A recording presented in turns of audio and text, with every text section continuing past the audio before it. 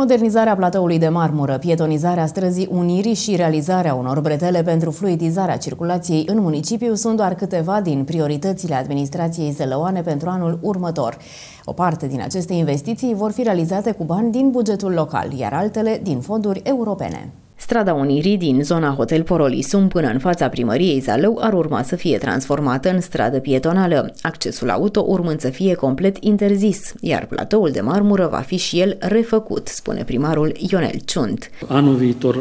avem un contract, un proiect depus și pe zona de pietonizare a străzii Unirii în care intră și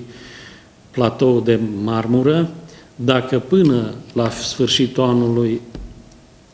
nu o să reușim să semnăm contractul de finanțare, în primăvară o să, uh, sau în bugetul de anul viitor o să uh, punem bani, o să alocăm bani pentru, platform, pentru platou, să reabilităm din bugetul local. Pentru a fluidiza circulația în oraș, municipalitatea are în plan construirea unor bretele rutiere care să preia o parte din trafic. Ideea noastră dacă vom mai fi pe la primărie, sau ideea mea este de a face cât mai multe bretele de ieșire sau de scoatere a autovehiculelor din oraș.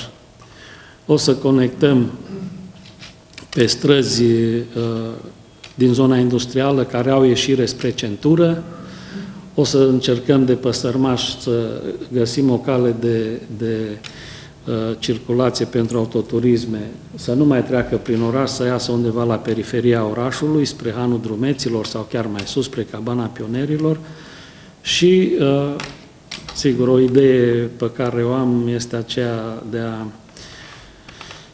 în Parcul Brădet să facem un parc așa cum am văzut la lângă Bran, acolo la